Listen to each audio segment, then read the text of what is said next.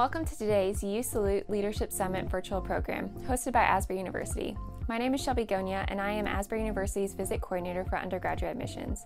We're so honored to be part of this year's Youth Salute programming and hope that today's schedule allows you to expand your leadership skills and encourage you as you look at your next steps. Today's schedule includes the following. We'll have a personality assessment of the DISC profile system, which helps you recognize how you lead and work with others. We'll hear from current college students and what they would advise high school seniors to look forward to and maybe not be so nervous about. We'll have a session that encourages you as a leader in how you communicate with others. And then finally, we will hear from our Asbury University president, Dr. Kevin Brown. As you participate in today's schedule, we want to encourage you to sign up for a campus visit. You can scan the QR code with your phone at the bottom of the screen to register and secure your visit today. This will put you in a drawing for a VIP Asbury University visit package, so scan and sign up today. So, without further ado, sit back, relax, and enjoy today's programming.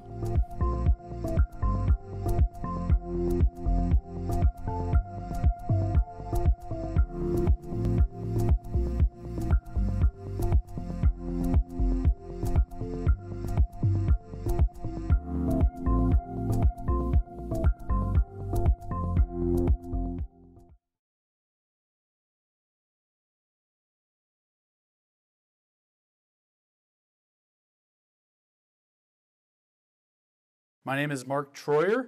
I'm our Vice President for Advancement here at Asbury University. Uh, this is my th- about 35th year in higher, ed- higher education administration. I've held a few different Vice President roles here. Um, have a PhD from University of Kentucky focused on leadership types things. And the thing that I love to do uh, the most is go around the world and help people figure out how to be, be in better teams. And that's some of what we're doing today. Uh, so thanks for tuning in. Uh, we're going to talk about the DISC assessment as part of this little seminar. You've taken that online, and we're going to talk about what that really means. Before I jump into this, there's a few disclaimers that I'd love to throw out there. First of all, I am a skeptic when it comes to assessments and putting ourselves in a box. I think we are way more complex than what any one assessment kind of gives us.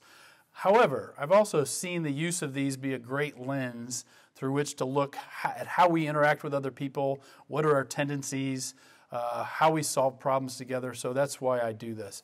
I would encourage you to kind of operate here in this in a watermelon principle. So when you eat watermelon, there's some great meat in there, but there's also some seeds. Those seeds are things you might disagree with or wonder about. And if you can take away some meat from this, uh, that would be great as we walk into this DISC assessment, uh, I want you to understand that it is really about your behavioral tendencies, the things that I kind of do without thinking about it, the, the things that I operate by on a normal basis. Um, I can do things a different way, but I have to think about it more. And these are behavioral tendencies. That's what kind of what this gets at. And we'll talk a little bit about that as we get into the assessment. Uh, I would also say that we are generally born with these tendencies. Um, I used to think that a lot of a personality of a person was based on their their family. So if I was in a very organized family, I was organized. But I had twins 30 years ago. My wife and I had twins, and they came out of the womb differently. One of my sons, we would throw Cheerios on a tray, and they would pick those Cheerios up, and he would study them. He'd he'd look around. He'd chew slowly, look out, and get lost in his thoughts and those Cheerios would last a half hour. The other son, born 10 minutes later, earlier actually, um, same mom, same dad, throw the same kind of Cheerios on the tray, and he would look at them and just go, and those Cheerios would be gone in 10 seconds. That is a personality difference that showed up the rest of their life. And so now you can adjust that if you're spontaneous, you can be more organized if you work at it. But what this gets at in this DISC assessment is a tendency in how I like to operate. Now, why study that, some of this? The Carnegie Foundation for the Advancement of Teaching did a study years ago, and they said 15% of the reason you get a job, keep a job, or move ahead in that job are your technical skills, the things that I know about accounting, the things that I know about teaching, the things I didn't know about media.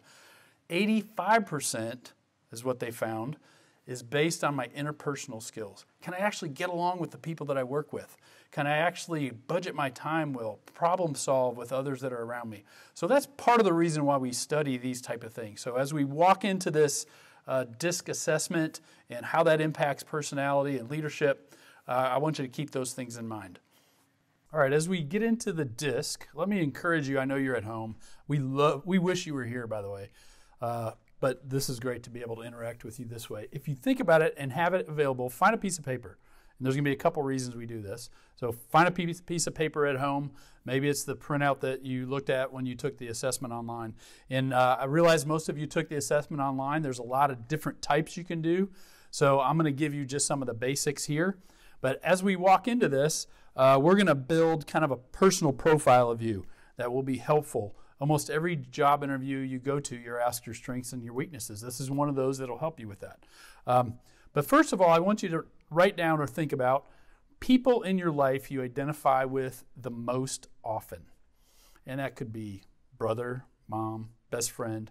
Who are two or three you think about the most often, or you, you that you work with the most often? Okay, you got those in your head? Now, as you think about those two or three people, uh, some on that list you have really rewarding relationships, and some are really challenging. What makes the difference? Why do I get along really well with that person and maybe not as well with that person? What are the characteristics of an excellent relationship with another person? That might fall into the areas of, hey, I can listen well with them. We have things in common. We have shared experiences. We budget our time the same. We like the same music. Um, some of that may be related to personality differences, and we're going to explore a little bit of that. So, a couple principles as we get into this. First of all, every single person has some sort of strengths. They may not be the same, but we all have strengths. And what we ought to do is seek to maximize the use of those strengths in our interactions and the roles that we play and the jobs that we do. Find out what you do well and do more of it. And hopefully today we're going to help you understand that. On the flip side, every one of us also has weaknesses. Now, some of you out there think, I don't have as many weaknesses as they do, but we all have weaknesses. And we got to seek to minimize uh, the use of those weaknesses and the impact of those weaknesses. But I, I want to do something here and help describe what a weakness is. Oftentimes, a weakness is simply a strength that's been pushed to an extreme. A strength that's been pushed to an extreme. So, if I'm a really organized person, that's a strength, right? What happens if I push that to an extreme? I can be too organized that I can't make decisions and anal retentive and all kinds of things. So that strength of organization pushed to an extreme can become a weakness. Now flip that around. Let's say I'm really good with people, and that's a strength. I get along with people great. And uh, but if I push that to an extreme, sometimes I'm so social I can't get my work done. So that's some of the principles as we talk about strengths and weaknesses and the different styles here. That oftentimes a strength or weakness is simply a strength pushed to an extreme. Now, to illustrate something, if you've got that piece of paper right there, what I'd love to have you do is take a pencil out or pen, put the pen in your opposite writing hand, and I want you to take five seconds and sign your name. Go ahead. Sign your name with your opposite writing hand. That's hard. And some of you will probably spell your name wrong. It'll look like you're in first grade. Now take your pen in your regular writing hand, close your eyes, and sign your name. A little easier. You can do that without thinking about it. That's kind of what happens with a personality assessment. There's things I do without even thinking about it. It's like signing your name with your regular writing hand. I can do those other things, but I got to think about it more. And some of you probably had your tongue sticking out when you're writing with your opposite writing hand. That's the principle as we walk into this that I want you to keep in mind. So everybody has a personal style. And what, what you're going to see behind me here, I'm going to put some things up on the board that'll help you. But you took an assessment online. That is your assessment. So what came out as results are based on what you put in. So if you are rushing and not paying much attention, it may not be as accurate. Uh, if you are in a hurry, it may not be as accurate, but what it will tell you is what you put into it. That's your assessment. And what we're going to do here is also have you self validate the results. So as we walk through these, you're going to you're going to learn some things about yourself. self validate that assessment by checking things off, writing some things down. So at the end of this section, uh, you will walk away with a personal profile of here's some of my strengths that I really agree with, here's some of my weaknesses. So we're going to walk into what are the dimensions of personal style. And on your screen uh, will be a PowerPoint slide that lists a couple things. And I'm, I'm going to write these on the whiteboard because I'm going to refer to this. And so I'm going to walk over here and write some of these things down. Typically, we fall into a couple different categories. So we tend to either be people who are very purpose driven, task goal oriented, or we are people driven. We love to hang out with people, we love to understand people. And that drives some of the decisions that we make and what we enjoy and what our tendencies and behavioral tendencies are. We also tend to fall out, and this is actually true in a lot of different assessments, this model. We tend to fall out as being either initiators or responders. Okay? We, we might be that person that says, hey, let's go make sure we do this. Or we might be that person that waits and lets other people make a decision, evaluate a little bit, and then decide. So we tend to fall out in one of those categories, and that is that those categories, if you remember nothing else, this will explain a lot of this assessment and what it looks like. So those of us who fall into the category of being very purpose driven uh, will, will come out as D's on this assessment. Okay? And this is this is mine actually. I fall out as an initiator who's a D and an I, my highest and second highest point. Uh, I don't.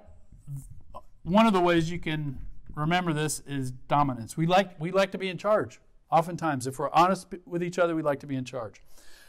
If I'm also an initiator, or but I but I love being around people, that tends to be an I on this assessment, and we're going to call those initiators. Okay. That's actually, uh, and another way to look at that is influencers. We love to influence things, especially around people. If you're on the people scale and you love to be around people, but you are more of a responder, those tend to be the S's on this survey, on this assessment. And one of the descriptors there is steadiness. We tend to be not rattled too much, uh, tend to be a little bit more steady in how we go about things. And then finally is our C's.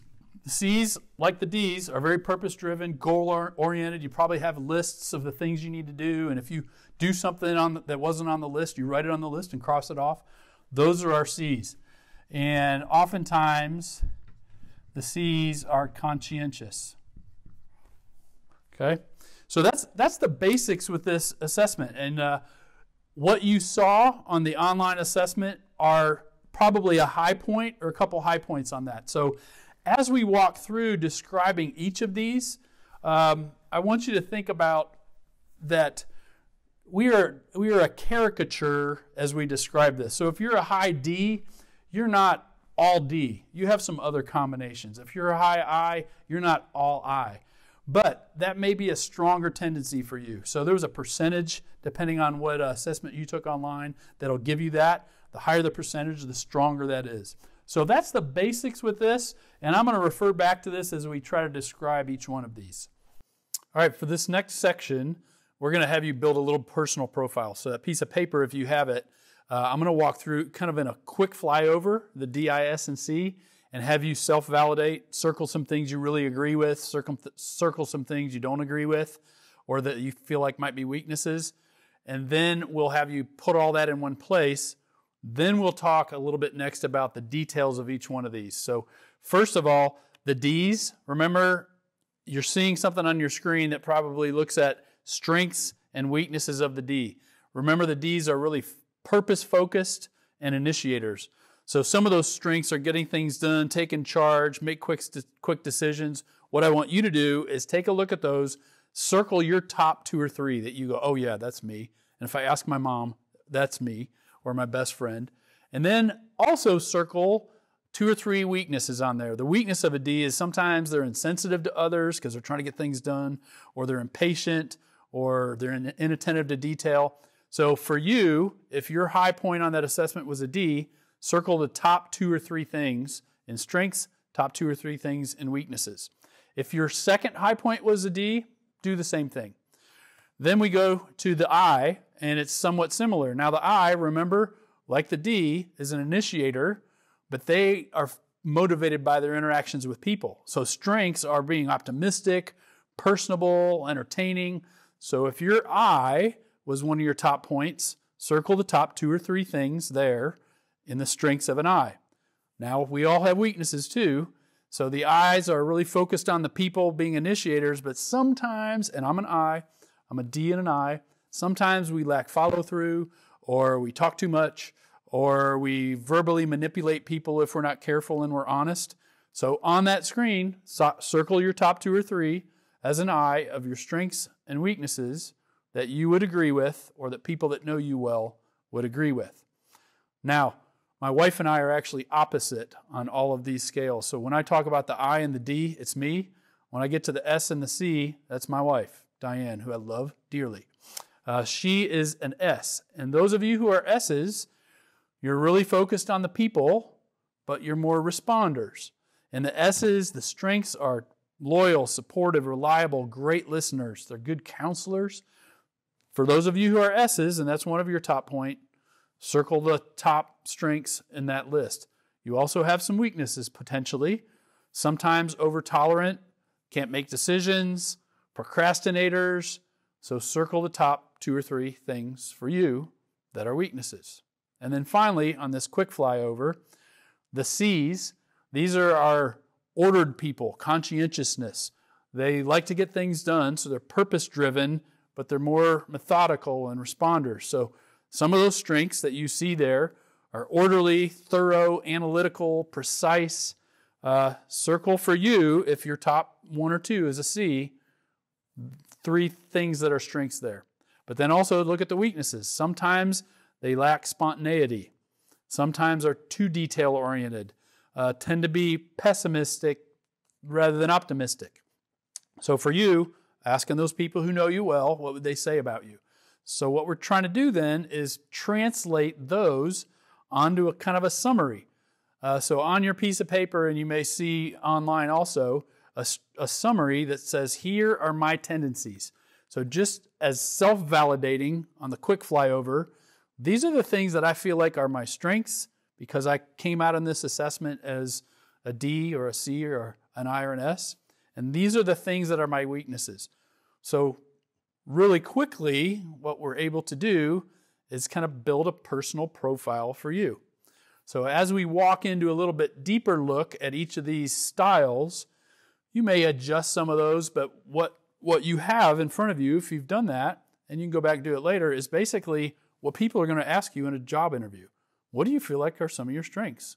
What do you feel like are some of your weaknesses? And as you describe your weaknesses, remember you can say, you know what, I'm a procrastinator, but that's a that comes out of my strength of wanting to do things right. So a weakness is a strength pushed to an extreme. So that's one of the things that comes out of this.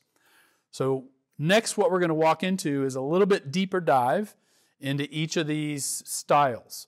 And uh, what I want you to keep in mind is what's behind me, which is the basics of how this assessment is set up. And it'll make a little bit more sense as we walk into each one of these. All right, as we as we walk into the details of each of these letters in the disc, they're really different in a variety of ways. Uh, they're going to be different in the motivation that we have and what motivates us as a person, in the situations that we just thrive in, in what we accept and reject in other people, what strengths and weaknesses are, how we do time management, how we make decisions. So, we're going to get into a little bit of the details of that. But what I want you to continually remember is the basics of the chart. So I'm either purpose driven or people driven. That has an impact on how I like to make decisions. I'm an initiator or a responder. That has an impact on how I like to spend my time. Um, it's interesting, too, that people who come into our life oftentimes are different than us. And in building stronger relationships, it's helpful, it's helpful to understand my own style, but also value that style of another person. So, as you think about this, you may even think about somebody in my life who might be different than me. How can I value what they bring to the table, even if it's different than my own style? And it's also re- important to recognize that those differences oftentimes complement each other. So, my wife is incredibly organized, and I'm kind of a uh, spur of the moment person, and we've learned to complement each other in that. It took some time, uh, but working together on that has led to 33 years of marriage, uh, which is great. Um, and but being committed to building others up by what we say and what we do, based on even their needs, is really important. So as we go into the details of each of these, what I want you to remember is I'm either purpose driven or I'm people driven. I tend to be either an initiator or a responder. So, right now we're going to talk about the D's. And those of you who scored high on the D's, uh, there are specific things that show that, hey, you're purpose driven initiators. And I'm going to walk through those. So, as you see those on the, on the PowerPoint, you'll see some of the details. So, those of us who are D's, those of you who are D's, our basic motivation oftentimes are results and challenge. Best way to get a D to do something is tell them they can't do it. It's that purpose driven, get it done um, so, best situation, obviously, is continual challenges. But you got to give me some freedom to actually get it done if you're going to challenge me to do something. That's a D. We love variety. Uh, we accept difficult tasks, but it will drive us crazy if there's people in our sphere who are not not doing their job or not going with us. So we like to, to have that challenge and that goal. So remember the difference between a strength and a weakness a weakness is a strength pushed to an extreme. So if you look at the D, major strengths, they're going to get things done. They're going to be decisive, they're going to be persistent. They're going to keep trying if they if they fail. Now, push that to an extreme, what it can mean is sometimes we can be insensitive to other people in order to get it done. Oh, come on, just just oh, I know it's hurt your feelings, but we got to get this done. That sometimes is what we can be as D's. We can be impatient, we can be inflexible under tension, if we are not careful, those of us who are D's, because we're so focused on getting those things done and, and having a challenge and have, getting, getting the results, is that we can become autocratic. Uh, we can become ordering people around. You do this, you do this, you do this. What we would benefit more from is slowing down and listening. And so that comes out of that focus on being an initiator and trying to get things done. So, ideal world for a D is where they have control. We, if we admit it, we like to control things, and we like to change things. Sometimes just for change's sake, which is which drives other people crazy if we're not careful. We want to do it my way, and greatest fear sometimes is losing control or not having a challenge. D's bore easily, and sometimes they want to try something new just for the sake of trying it and doing it. I, I had a college student one time that was going to go to Florida on spring break. He was a strong D, and he decided, you know what? I think it'd be more fun to hitchhike. He hitchhiked all the way to Florida just because it was a challenge. That's that's kind of a summary of the D. And you may have people in your life who are strong Ds and goal oriented, and it may be that dad who wants to drive 100 miles before he stops for to let anybody go to the bathroom. You know, it's that goal. Goal oriented is really strong in the Ds. Now, let's shift to the next one, which is our eyes. Eyes are also initiators around people oriented things. So, similar to the D, the eyes love to initiate things, but they're often motivated by people and their interactions with people. Well, that shows up in the things that they're motivated by. So, if you take a look, basic motivation of an eye is recognition and approval. I love other people recognizing that I've done something well. I love to get the approval of my family, my friends. To get an eye to do something, give them a certificate, thank them, be, let them know that that was appreciated. That people side is really an important motivating factor for an eye. So, best situation, they love the opportunity to motivate others. New and exciting opportunities, but they aren't eh, quite as strong on the detail and they don't like the control of others, and the follow through isn't quite as strong sometimes. They love uh, involvement with others. What is really hard for an I is probably what you're going through right now in isolation and not being around people. Probably as an I, this COVID thing is incredibly difficult uh, because they love being with people. So, strengths I love having an I on a team. They are optimistic, they're enthusiastic about the next thing. They love getting along with others and they're personable. So an I love loves to meet people in a crowd and loves to meet new people. Sometimes if they're not careful, the weakness part of that is they can oversell things or become manipulative or not follow through. The caricature of an I is a used car salesman and they're they're trying to sell you a car, and this is a great car, and I know it doesn't have an engine, but it gets great mileage when I'm pushing it down the road, and you get good exercise with this car. And I sees the glass half full, and that's a strength. Sometimes they can oversell things if they're not careful. So, under tension, and this is an interesting one, if I'm not getting that recognition and approval, under tension, sometimes the eye, if they're not careful, can attack other people. So, if you're walking out of this seminar with me and you say, you know what, that was the biggest waste of an hour that I ever had, and I'm an I, what am I not getting? I'm not getting recognition or approval of the time I just spent. And my, my gut reaction might be to say, well, if you paid attention, you got something out of it. That's that attacking. We got to be careful, those of us who are eyes, that that doesn't come out. Therefore, we would benefit from pausing, listening a little bit more. It's that if I'm an initiator, my benefit would be to be a little bit more of a responder in the t- areas that cause tension. So, ideal world for an I is they have fun. Eyes enjoy being the life of the party, organizing people.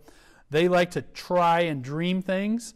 Uh, eyes, oftentimes, we have more ideas than we will ever be able to pull off. But that is a strong I. They want to do it the exciting way. Well, we've tried it this way before. Let's try to do it a little bit differently. Let's change the rules of this board game. Let's change the rules of this game that we're playing. Greatest fear is losing face or not having social approval. So for people to, to not appreciate what I'm doing or my friends and I aren't getting along, that's a difficult thing for an I. So if you're working with people or if you're in a group with people, recognize that for an I, those interactions and those relationships are really, really important. So those are the D and the I who both serve as initiators and similar to the I's, but as responders are our S's. And they both love interactions with people. People motivate what they do, but it shows up differently because the I's are initiators and the S's are responders. The S's tend to be a little bit more steady. And if you look at what motivates an S, it is relationships, and appreciation. Now, an S may appreciate it more if you're walking down the hallway and you put your arm around them and say, you know what, I just love this relationship that we have.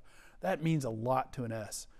And I would feel great about that too, but they would love a standing ovation. Let me have a hundred people standing and give me and clapping for me and saying, This you did a great job. An S, it's that intimate relationship sometimes are more motivating. So best situation for an S is an opportunity to serve others, uh, stable and predictable environment, friendly, peaceful environment. People are getting along together uh, because I can predict that. I can respond to that. Um, they accept friendships, love friendships, but conflict is really hard for those of you who are an S. And sometimes those of you who are S's, because that relationship is so important, Someone might say, Hey, is everything okay? And you might, on the outside, say, Oh, yeah, everything's fine. But inside, you're going, Well, of course it isn't okay. You didn't notice that last week? So S's have to be careful that they are being a little bit more open with how they're really feeling and that their friends understand that. Uh, the strengths for an S love having S's on a team. They're supportive, agreeable, loyal to a group, loyal to a job, loyal to uh, a team and S's are great to have on a team. The weakness on an S, sometimes that loyalty can become indirect with others for the sake of maintain that, maintaining that relationship, or they can be overly tolerant if they're not careful. Um, under tension, uh, an S, oftentimes, this is like a $5 word, will acquiesce, which means I won't really tell you what I feel or think, but I'll kind of go along. and therefore they would benefit. That's a that's a responder uh, task. They would benefit from initiating more, as an S. Uh, as you are as we're walking through this, I hope that you're kind of writing down some things and, and honing that personal profile that you wrote down early, or that you're thinking about, hey, that friend of mine might be this, or my my dad may might be this. That's some of the most rewarding pieces when you start to realize, hey, we're just wired a little bit differently. How can we get along a little bit better?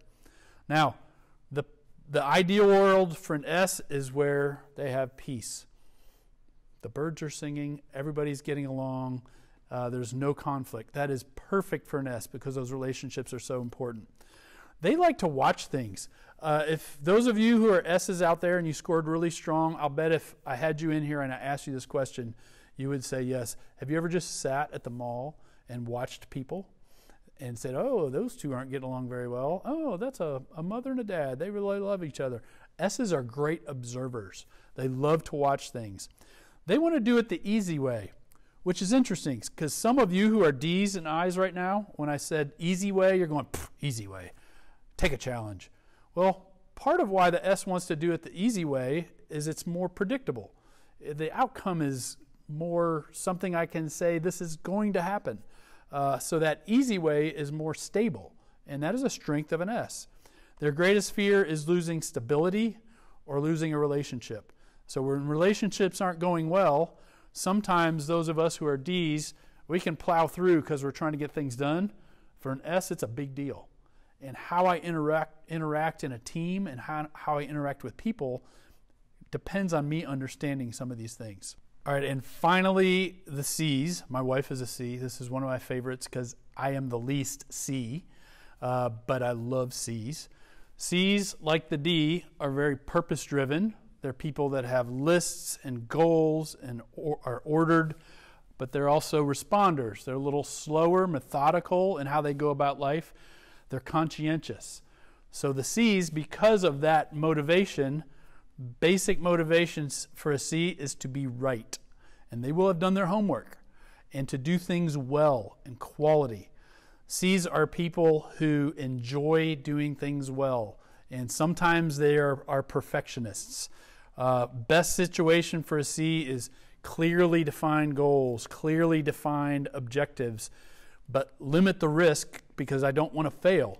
So I need to know what the objectives are. If I need if I'm going to write a paper and you tell me to do it on my favorite subject, as a C, does that paper need to be 5 pages, 6 pages, 12 point font, black, red, uh, blue font, letters? Uh, what does it look like? Because they want to do it well and that's a C. And they do things well. They generally do things very well. But those clearly defined goals, objectives, job descriptions are really important for a C based on this. What they accept is methods and structure. Uh, what they cannot stand, those of us who have friends that are C's, is lack of quality. So if, if I'm in a group project and somebody's a slacking, that will drive a C crazy. Uh, so, what are the major strengths of a C? It becomes fairly obvious. They're orderly, they're thorough, they're analytical. You want to see on your team if you're doing a group project because they're going to make sure you're doing it well. That is a strength of the C. Now, on the flip side, if they push that too far, then it can become a weakness and they can lack spontaneity. Um, I actually did this with some couples. We had two engineers in the room. They were both strong C's, and they realized this about each other, and they, and they kind of hung their head and chuckled, and they said, We've realized that we need to be more spontaneous. So, what we do is in our calendar on Friday nights, we write in spontaneous time. And that, that is a C. They realize about themselves that they're not, but they try to be, and they organize it in such a way that they are. Uh, sometimes the C's can be too detailed or too cautious to make a decision. Oftentimes, the C's don't have enough data to make a good decision, but they're forced into making the decision because they want to make the right decision. So, under tension, when things are not going well or quality, a C might tend to avoid the situation. So, if you're a C and you find yourself avoiding the situation, think back okay, what would be beneficial? And maybe it would be beneficial for me to declare how I'm really thinking and really feeling on this. Um, Ideal world for a C is where they have excellence. Whether it's my team, my family, my friends, things are going really, really well. Uh, they like to research things. Uh, a C is somebody who doesn't mind going online and finding the best college. Of course, Asbury is the best college. I do work here. We would love to have all of you come. Uh, but they are researchers just by nature. They enjoy doing that. My wife will look at all the different options for car insurance and find the best one. And a friend of mine used to call and say, Hey, yours is due about the same time as ours. I know Diane's already done all this. What's the best deal? I C's love finding that. They want to do it the right way, and their greatest fear is being wrong or being criticized because they're so focused on doing things well and they work so hard at that. So if you're going to tell a C that isn't it isn't right, don't tell them that you just don't think it's right. You got to give them why because they will have worked at it a lot.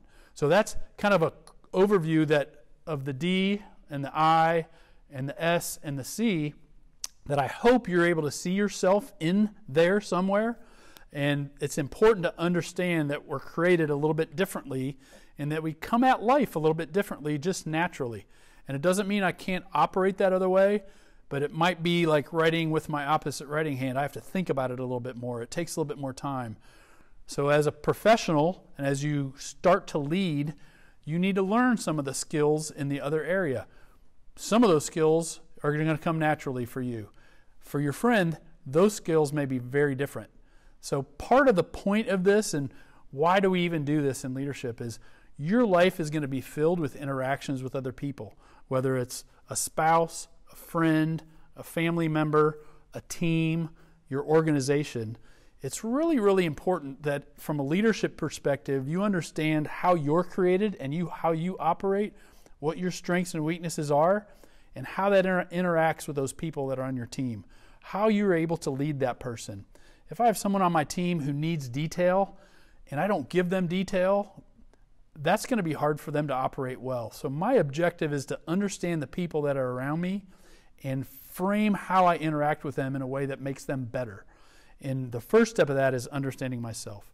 So, I hope you've got a little bit of a chance to unwrap this a little bit.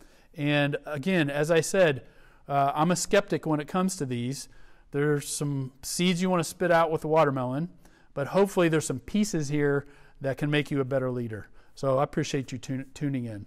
As we conclude this, I hope you've gotten just a little bit of a window of how you were created, what some of your tendencies are, whether you remember the D, I, S, or C or not.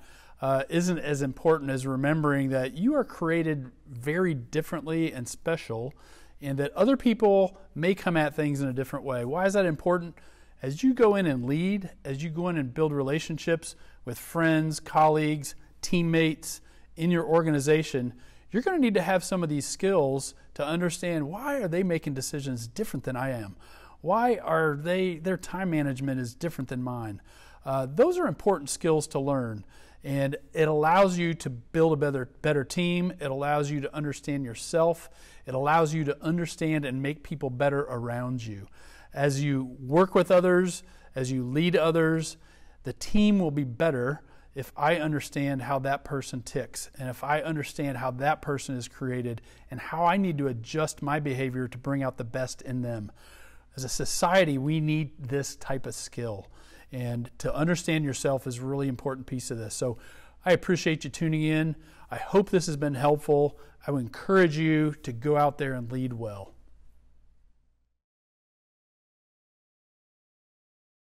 Hi, I'm Grace Raisin. I'm a psychology major. And if there's one thing that I wish I could go back in time and tell myself as a freshman would be that it is totally okay to ask for help. I'm a very independent person. I like to do things myself and that kind of gets me into trouble because when I don't know what's going on, I like to just try to figure it out rather than asking for assistance. So freshman year, I could not figure out how to get from chapel to one of my classes right afterwards without going outside, walking around the whole building, coming back inside, and I didn't ask any of my classmates how they were getting there until like halfway through the semester, one of my friends was like, hey, did you know this other way to get to class? And that was just a moment of realization for me like, how much easier could this whole time have been if I would have just asked somebody? I promise the upperclassmen are not that scary, they will help you. Um, so, definitely, I, I wish I would have just been open to asking for help. I would also really recommend checking your email. That is the primary way that professors will communicate with you. So download the app, turn on the notifications. Uh, that is really important to have. Hey, my name is Joel Pletcher. I am a junior at Asbury University. I'm a major in media communications with emphasis in film production. Um, one thing I wish I knew as a senior getting ready to graduate and go into college is that um, professors aren't as scary as you would think they would be. I kind of thought they were these, this scary teacher that was just going to give me bad grades and all that, and that's just not true. Um, they really want to work with you, they're very approachable, and they actually want you to just reach out, introduce yourself. So don't be afraid to go up to them after a class or send them an email and just say, hey, this is what I'm passionate about, this is why I'm taking your class, thanks for being an awesome professor. And they'll love that. Um, one piece of advice I have for you, especially as leaders getting ready to go onto a college campus, is don't be afraid to say no. You're gonna be, you're gonna be presented with so many different cool, unique opportunities, and just they're just gonna be flying at you right and left, and just be prepared to be able to say no. Make sure to take the opportunities that you want to, but also you don't have to say yes to everything. Hello everyone, my name is Madeline Howard. I'm currently a sophomore here at Asbury University. I'm an Equine Studies and English double major, and I just wanted to spend a little time with you guys today, encouraging you in something that I wish I knew when I was a senior in high school. The first thing that I want to remind you guys is that you don't have to be feeling this pressure to choose your career path right now. I know a lot of times in middle school and high school they make you choose a career path and you take a lot of classes related to that, but don't feel that pressure. You don't need to be feeling that. Once you get to college, if you come to Asbury, we have a bunch of foundational classes where you just get an introduction to a bunch of different areas that you could study here. You have to take a few public speaking classes, English, science, and math, and it really just gives you that mindset to decide what exactly you want to spend your time on while you're here in college. The next thing that I want to encourage you guys with once you actually get onto a college campus is to really get involved. I know Freshman year can be really scary for a lot of people. It feels lonely, you're in a totally new environment, you don't really know what's going on.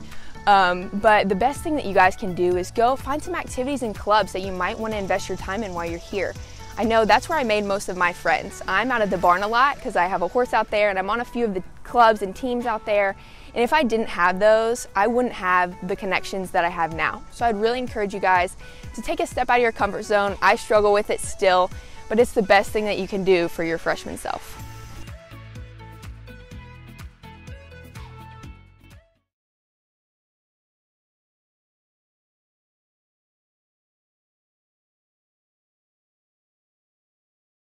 Hi, I'm Jim Shores. I chair the communication program at Asbury University, where we have a leadership major. And so I've been asked to speak today about leadership communication. Now, uh, maybe you have been elected to student council, or you, you found yourself suddenly, I'm captain of the soccer team, and I don't know how to communicate with these people well. You're head of the French club, the drama club. What do you do to create a sense of unity with your team? How do you communicate well with them so that you can lead them to accomplish their goals and you guys to be a competitive, well functioning organization? Well, that's what we're going to talk about today. So I hope you enjoy this as we look at three key principles. So, our three principles of communication that we're going to talk about today, and there are many we could talk about. Three, though. The first one is called dialogic communication, which I'm going to explain to you in two seconds, so hang in there with that. The second one is the idea of building a collaboration instead of being in competition with those people that you're leading. It's not about you winning, it's about you creating a team. And then the third point is just active listening. How do you listen well so that you can create dialogue and come up with long term solutions? So, dialogic communication is the idea of speaking in a way that the other person feels like they can listen. And listening in a way that they feel welcomed to speak. So let me say that again. Speaking in a way they can listen, listening in a way they can speak. If I have my arms crossed and I'm looking at you with this type of face and I'm like, yeah, tell me another thing, I don't feel invited to speak, right? And the same is true if I'm listening to you and I'm like, mm hmm, yeah, right. I don't want to speak. So in conversations, we create our own social realities. Uh, and they in turn bounce back, and we have to live in those social realities. So every single conversation, it has an afterlife. Well, what does that have to do with leadership? Well, if I think that as a leader I can just say things, I have to realize that they affect people and they bounce back and they affect me and they affect the entire team. And this is called social construction. The idea that uh, I create the worlds through my words that I'm now going to have to live in. I mean, have you ever told your brother, your sister, or friend that they're stupid? I'm sure it didn't end there. I'm sure they, in turn, told you that you were stupid. And uh, if you've ever told a friend that they're your best friend or they're amazing or you really think a lot of them, if you told your mom and dad that you love them, you probably had a different outcome, right? So, body language, tone of voice, what we say, these are all incredibly important. In fact, it's been said 40% of what we say is our body language. Another 40% is our tone of voice. Only 20% is the actual words that we say out loud. So, how people communicate is oftentimes more important than what they actually say. And this is called logical force. Um, the idea that when I speak, there's a force behind what I'm saying. There's this pressure for you to respond in like manner. So if I am talking to you like this, pointing a finger, um, being negative, there's a logical force that you're going to cross your arms, you're going to get defensive, and you're going to talk to me like this as well. And we're not going to be able to create a team uh, in that situation. So, that concept of reflexivity, there's your 50 cent college word for the day. Reflexivity is the idea that our words, they go out and they affect others, but then they bounce back and they affect us as well, or they affect the entire team. You know, in, um, in the Christian, Judeo Christian tradition, uh, in the Bible, it says uh, God spoke the universe into being. Well, we're not God, but I think we are able to create or speak certain social realities into being. And so we better be careful what we're speaking, uh, how we're standing, what our tone of voice is, so that we welcome good communication. So, what happens when we're negative? Things get negative. And what happens when we're positive? Things hopefully get positive. I love this uh, photograph at the bottom there. I think that's pre COVID 19. I don't think they're exercising social distancing very well. But the main idea behind all of this is this concept that as leaders, we want to become a curious participant in the other person's reality. That's a very important concept. It's not about winning or losing, it's about being a curious participant in the other person's reality. Why is that important? Well, how can I lead you effectively if I don't know who you are? If I haven't really heard you, if I haven't made the effort to look out at the world through your eyes, then I don't know what you value. I don't know what your hopes are. I don't know what you want to accomplish. And also, I think at the end of the day, if we're a part of a team, we're leading that team, it is so much more fun to lead that team if I know who you are, if I have taken time to listen to you and looked out at the world through your eyes.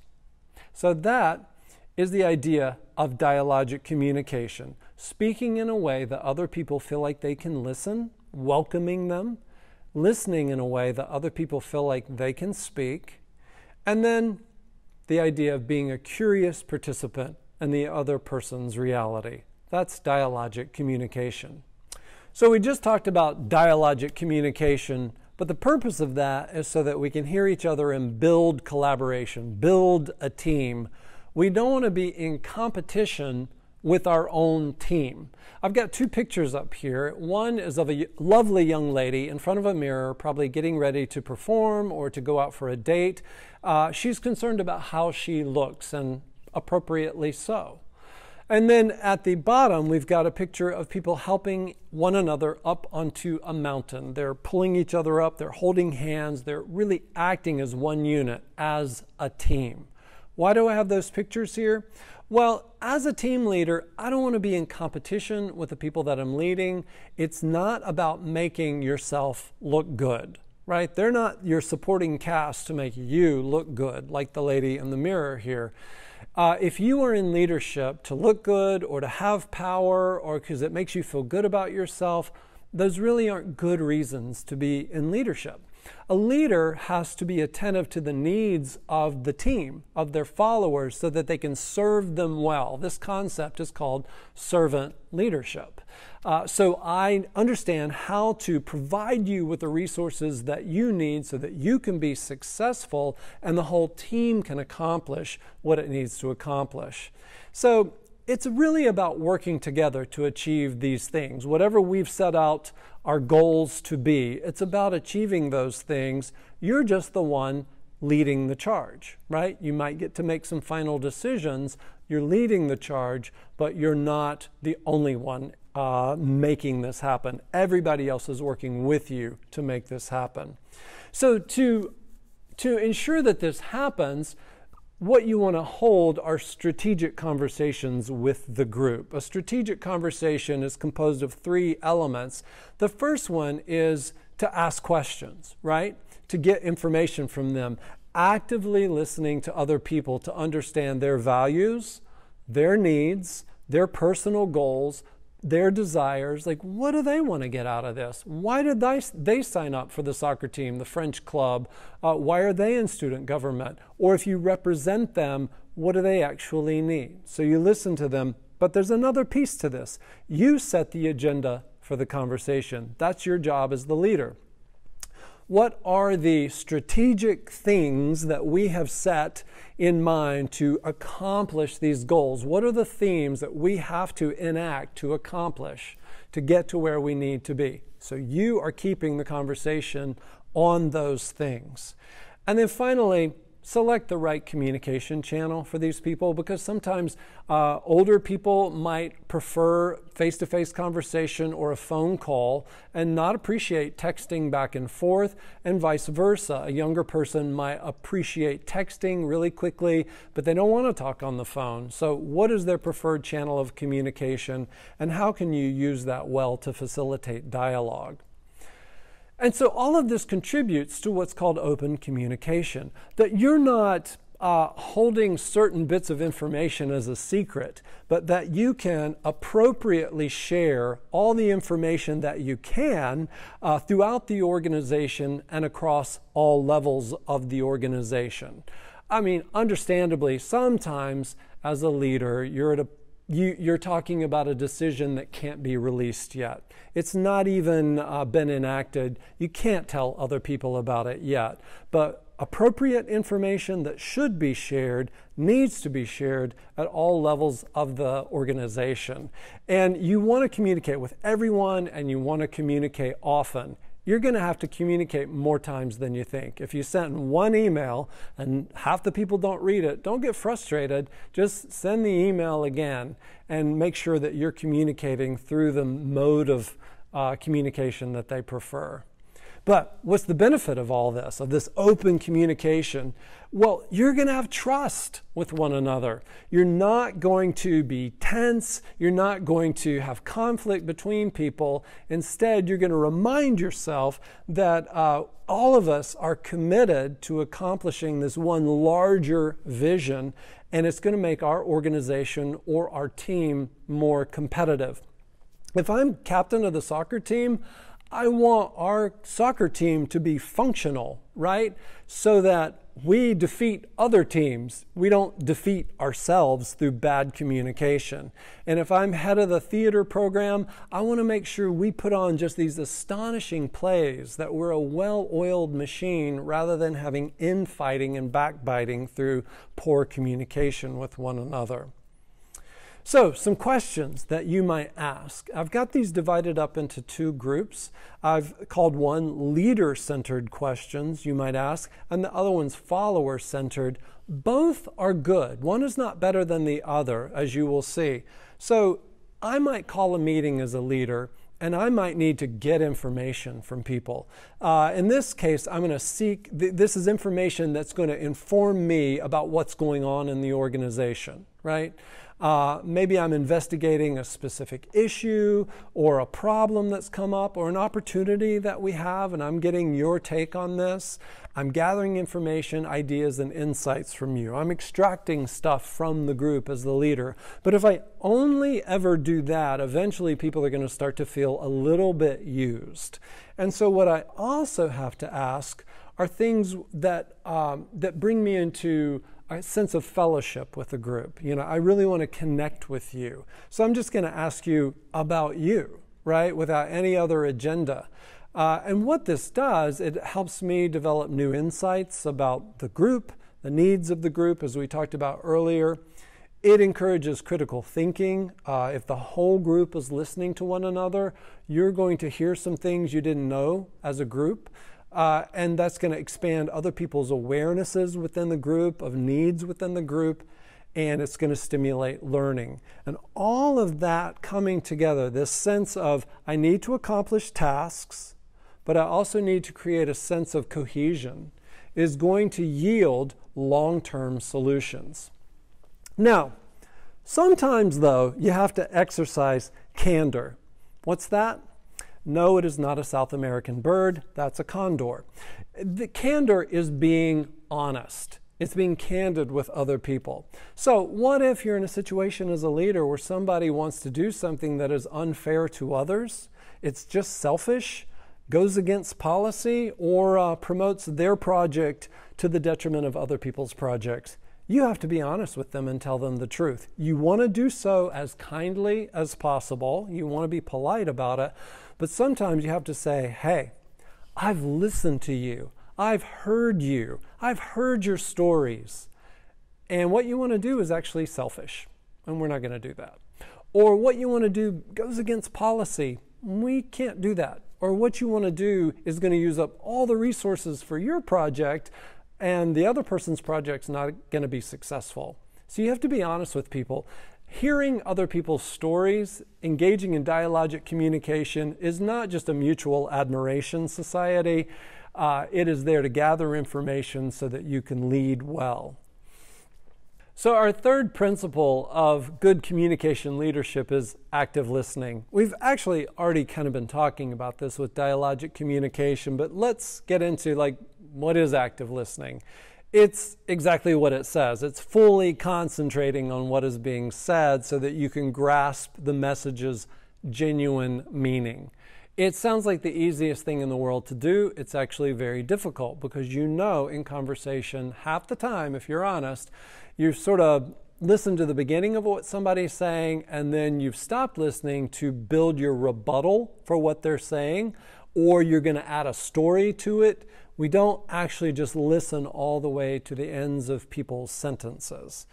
And so to, to do this, the keys to effective listening are actually listening all the way through, uh, keeping an open mind so we're not making the mistake of thinking we know where this is going before we actually know where it's going, resisting distractions. So put your phone away, close your laptop, and then four, doing a gut check to really make sure am I seeking to understand this person right now, or am I mad at them and I'm just listening to them until I can argue, or I'm overwhelmed with something else that's going on in my life and I'm not capable of really listening and understanding?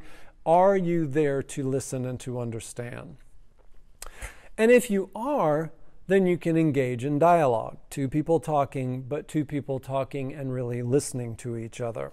And dialogue is a great tool for hot button issues where things have gotten emotionally loaded and it's difficult for people to talk. It might even be such that you have to take something like, oh, this water bottle, right?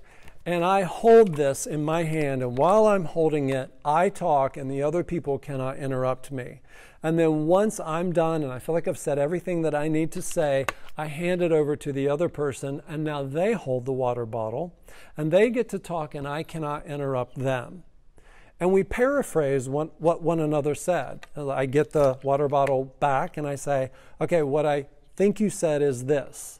I hand the water bottle back and they get an opportunity to correct me. Well, you got most of that right, but actually, no, that, I wasn't meaning that. I was meaning this. You do this silly exercise back and forth until both people feel like they've actually been heard and that the other person understands them well and you would be so surprised in a hot button situation where everybody's tense, the tension goes out of the room, understanding happens, and now you can work on the issue. So, uh, but you got to refrain from presuming to know the outcome of this conversation and trying just to sell your convictions. And that's awfully tasty, but you got to resist that urge. So, the enemies of good dialogue, they are talking more than you listening. You know, I mean, that's so easy to do, right? Being rushed for time. Sometimes we're not in control of that, but sometimes we've set up a meeting where we're like, okay, I got 15 minutes to deal with this big issue. Allow space. Focus on, if you're too focused on your own interests, you're not going to be able to hear the other person well. So, again, going back to becoming a curious participant in the other person's reality, you're going to set aside your stuff, you're going to listen for a while. Maybe they're still wrong, maybe you're still right, but you've really, really now heard them. But chances are there's something about what they're saying that's right too. Uh, engaging in defensive listening, again, where your arms are crossed and you're like, yeah, right, assuming you have the right answers and just being in a posture of persuading and selling and finding the flaws in the other person's argument, you're not going to listen well in those situations. It's been said that it's better to build a camel than a racehorse. What does that mean? Well, the camel looks like an animal that was built by committee, right? One person on the committee was like, I think it should have a hump. Another person's like, I think it should have really weird flat feet. Another person's like, it should have a really wide, strange nose. A racehorse is one beautiful creature that uh, looks like it's the idea of one person, right? But if that one person gets their racehorse into the game without and ignores all of the, uh, the, the suggestions that were given to you by your team, the team gets mad and they do not have a vested interest in your racehorse crossing the finish line. Instead, they're probably going to be actively engaged in taking down your racehorse. So a camel is slow, but if everybody's ideas are adhered to that camel, everybody's cheering that camel on, and you're going to come up with a long term solution that is going to cross that finish line. So instead, slow down and listen. Listen more than you talk focus on the big picture. What are we all here for in the first place, right? At the end of the day, what's the soccer team here for? What's the drama team here for? What is student what is the student body here to accomplish? Seek the common good. Be kind to each other. Be polite. Be good people to one another, even if you're disagreeing on some things. Many people have pieces of the answer right? You, I, I, have been in so many situations as a leader where I thought, I've got it, I've got the answer, people just need to listen to me. But if I've taken the time to listen, I realize, oh, I did not know about this. They have a piece of the answer that I needed. And if I hadn't listened, I would not have known it. And they saved me time and trouble.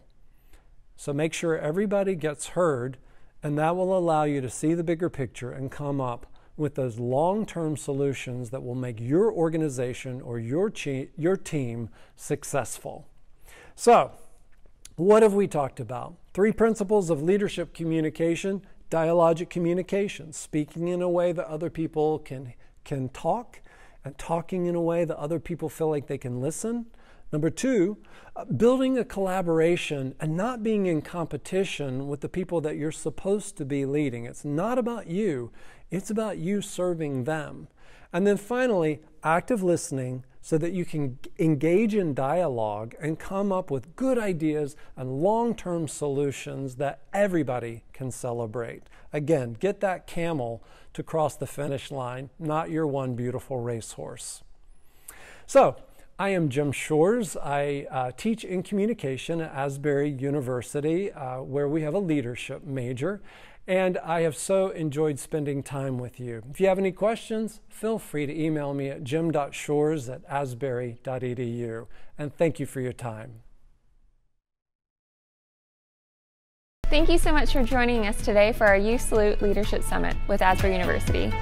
We're so glad that you're able to take time today to um, listen and hope that these videos were helpful in um, just helping you to curate and define your skills for, for leading others in high school, college, and beyond. We also want to say thank you to the Holifields for allowing us to be part of this year's programming. Though we weren't able to host you on campus, we're so glad that we could still do this virtually with you. As we transition out of our leadership sessions, I want to encourage you to come and visit Asbury University, especially if you're still looking for your college home. So come um, schedule a visit with us via our website or giving us a phone call, as we'd love to connect you with our faculty, staff, and students. Right now, we're going to transition to hearing from our Asbury University President, Dr. Kevin Brown. After he speaks, we're going to move on to our award ceremony. So sit back, relax, and enjoy.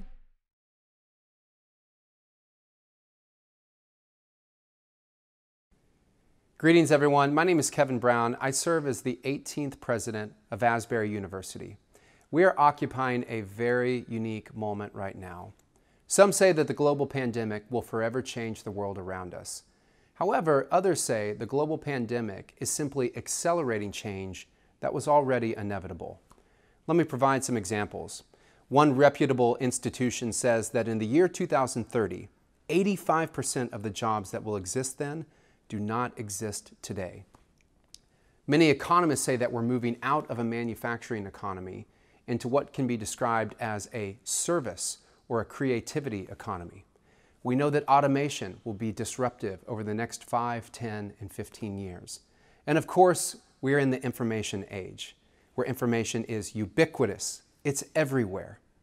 So, what does this mean for education? It means that it is no longer about the transaction of information, but rather it's about knowledge and it's about wisdom.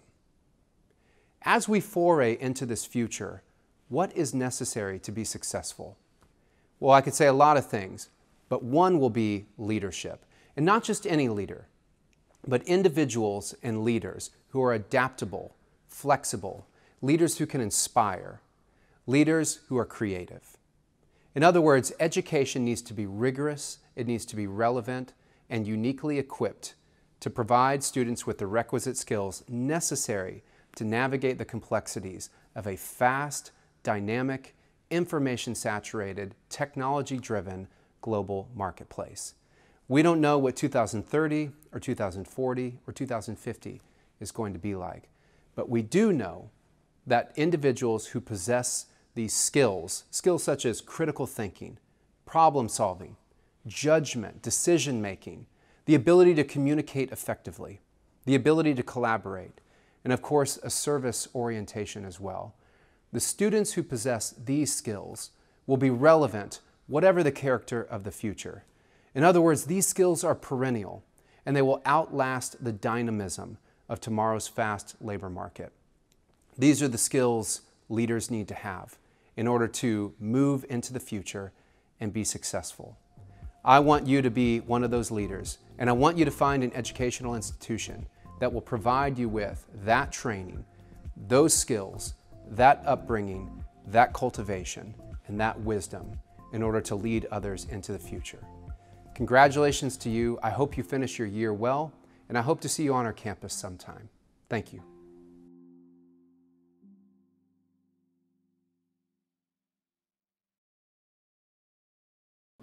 Hello and welcome, high school leaders, family, and friends, to the 40th Annual Youth Salute Awards Ceremony. My name is Andrea Walker. I'm the morning show anchor at WKYT, and I'll be serving as your co-MC for today's event, alongside my co-worker, Amber Philpott, who'll be joining us a little later in the show.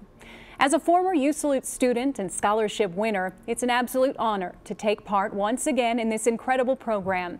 We first want to take a moment to recognize Asbury University for their willingness to host this year's event, with Eastern Kentucky University, Georgetown College, and Transylvania University. Together, you are creating a much greater opportunity in scholarships and other awards for a deserving group of high school leaders. Your hospitality is greatly appreciated. Today, presents us with a rare opportunity to recognize more than 800 outstanding leaders from 58 high schools across central Kentucky. You are now part of an elite group of students across the country being recognized by the National Council on Youth Leadership. Young people need applause. It demonstrates the approval of their peers and communities in which they live in. They need role models they can admire and emulate. The recognition we give to our young men and women today serves as a powerful inspiration that can shape their behavior in the future. Today, we're here to offer that applause. The Central Kentucky Council on Youth Leadership started recognizing outstanding youth leaders in 1981. Over the past 40 years, more than 26,000 students have received the distinction of being recognized as an outstanding youth leader through the Youth Salute program. The council makes every effort to raise community awareness about these young leaders' accomplishments. We want to congratulate all our youth leaders, their parents and grandparents today. We also want to thank their guidance counselors, teachers, and principals for nominating these outstanding students. Now, please join me in welcoming WKYT's Amber Philpott, who will be helping me present this year's awards. Thank you, Andrea, and thank you for having me here today. I'm a proud alum of the Youth Salute program, so I am honored to be here with you today, honoring so many of you out there. We believe that every student being recognized in the Youth Salute program is very special. Each student leader was sent an individual award certificate as part of their invitation email. Uh, once the document is downloaded, the student can type their name on it and then print it out. So we say congratulations to each of you here today. We also want to thank the following Central Kentucky patrons who contributed to the Scholarship and Awards Fund. Asbury University, Central Bank and Trust, Class 101, Eastern Kentucky University, Georgetown College, Holifield Photography, Transylvania University, and the Central Kentucky Council on Youth Leadership, Scholarship, and the Awards Committee. I do want to quickly put out a blanket. I'm sorry. We didn't get pronunciations ahead of time, so I don't mean to butcher your name. So we're going to do the best that we can as we get through these. But we want to say congratulations, whether we mess your name up or not. We certainly don't mean to do that. Based on the selection of the Central Kentucky Scholarship and Awards Committee, the top youth leader from each high school for 2020 will now be named. We begin in Anderson County. Manita Kim Bath County, Krista Stump, Berea Community, Coleman Reed, Bourbon County, Will Wyatt, Boyle County, Kaylee Witzel, Bracken County, Dustin Tucker, Bryan Station, Victoria Lowe, Burgin Independent, Eliza Marsh, Carter G. Woodson Academy, Sydney Stewart, and Casey County, Morgan Crow. For Christian Academy of Lawrenceburg, the winner is Erica Hickman. Danville, Faith Breitenbach. East Jessamine, Gavin Carr. Estill County, Summer Evans. Fleming County, James Hall. Frankfort Christian Academy, Morgan Monroe. Frankfort, Tyler Baker. Franklin County, Landon Good. Frederick Douglass, Bryson Berry. And Garrard County, Abigail Isaacs. George Rogers Clark, Ashland Brookshire, Great Crossing, Catherine Brown, Harrison County, Marshall Canup, Henry Clay, Taylor Galvalotti, Henry County, Rachel Top, Homeschools, Isaac Adams, Kentucky School for the Deaf, Elizabeth Holcomb, Lafayette, Hannah Kotru. Lewis County, Madison Welch, and Lexington Catholic, Abigail Rowe. For Lexington Christian Academy, Logan Martin. Lincoln County, Baylor Mattingly. Madison Central, Abigail McAvoy. Madison Southern, Chloe Osborne. Menifee County, Dylan Adams. Mercer County, Rebecca Trent. Model Lab, Everett Parker Noblet. Montgomery County, Austin Stegall. Nicholas County, Hannah Albright, and Owen County, Carson Inman. Paris, Kimberly Faulkner. Paul Lawrence Dunbar, Rashida Santanam. Powell County, Destiny Randall. Pulaski County, Shelby Black. Rowan County, Jacob Blevins. Sayre School, Alexis Henry. Scott County, Emily Spencer. Shelby County, Claire Chambers. Somerset, Anna Marie Gullick. Somerset Christian School, Hannah Monsanto. Spencer County, Kerrigan Lee. Summit Christian Academy, Sophia Roberts. Tates Creek, Charles Wilson. Trinity Christian Academy, Jocelyn Okerly. Washington County, Lynn Tormelin. West Jessamine, Macy Lane Brockman. Western Hills, Harper Lee Heffley. And Woodford County, Claire Pinkston. Congratulations to all of our winners. Class 101, a college finance and planning company, has been a longtime patron of the Youth Salute program. Class 101 is providing a $500 scholarship this year, and the winner is Rob Gilligan from Henry Clay High School. Congratulations. Central Bank and Trust Company is providing four $125 awards to our national ambassadors. In addition, each student will also receive an access pass to the online National Leadership Program courtesy of Holifield Photography. And this year's national ambassadors are Macy Lane Brockman from West Jessamine High School, Marshall Canup from Harrison County High School, Hannah Albright from Nicholas County High School, and Morgan Crow from Casey County High School. Congratulations. Holifield Photography is providing a $500 scholarship, the STAR Award, and an access pass to the online National Leadership Program to this year's 2020 Central Kentucky Youth Leaders of the Year. The winners are Claire Pinkston from Woodford County High School and Bryson Ferry from Frederick Douglass. And now for our final awards. All youth leaders who were seriously interested in attending Asbury University, Eastern Kentucky University, Georgetown College, or Transylvania University were asked to submit their name for scholarship consideration, along with their registration for today's event. A separate committee from each college has reviewed the nomination forms and essays, and they've made a final decision. Asbury University has generously hosted the Youth Salute event today. Asbury spent countless hours putting together an informative online leadership program for students this afternoon. In addition, they are providing five $4,000 scholarships today. And those winners are Lucy Singleton, Lincoln County, Malia Crump, Frederick Douglass, Isabella Freeman, Madison Central, Jackson Feeback, George Rogers Clark, and Ania Booten, Mercer County. Congratulations.